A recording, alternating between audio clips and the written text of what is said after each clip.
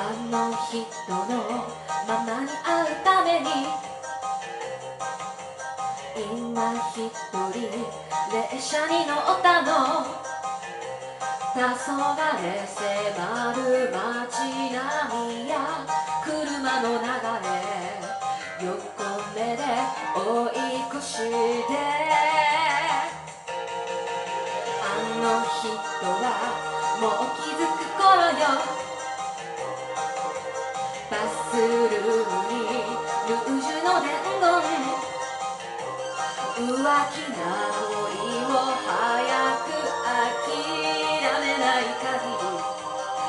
には帰らない不安な気持ちを残したまま。街はディンドンと遠ざかってゆくわ明日の朝ママから電話で叱ってもらうわ。マイダーリン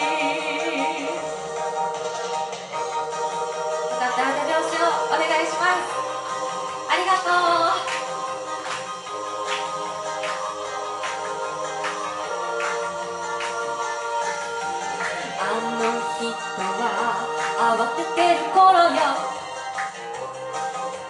バスルームにルージュの伝言。手当たり次第友達に尋ねるかしら。私の行く先を。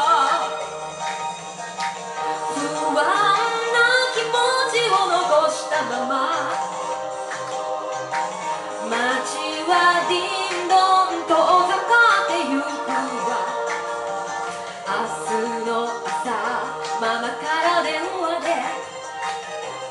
ってもらうが前だり。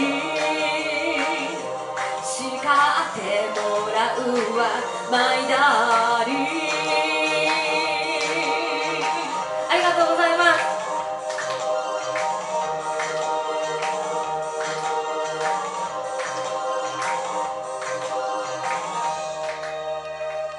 ありがとうございます。